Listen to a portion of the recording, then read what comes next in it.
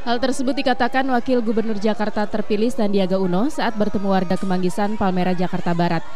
Tim sinkronisasi Anis Sandi yang telah dibentuk tengah bekerja mengumpulkan sejumlah pihak, baik itu swasta, BUMN dan BUMD, serta DPRD DKI Jakarta, untuk menentukan skala prioritas program yang akan segera dilaksanakan.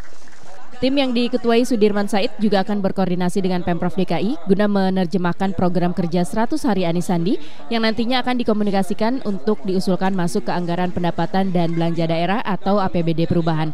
Program utama kita, program penciptaan lapangan kerja melalui DOC, program uh, pendidikan melalui KJP dan KJP Plus, juga program biaya hidup murah melalui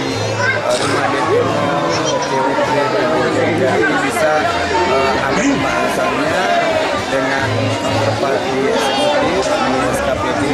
maupun juga dengan teman-teman ada pertemuan. Selain menjelaskan tim kerja, Wakil Gubernur Sandiaga Uno juga menerima masukan dari warga terkait persoalan di lingkungan dan meminta solusi oleh pemerintahan Anis Sandi. Beito Herlambang, Jakarta, melaporkan untuk CTV Network.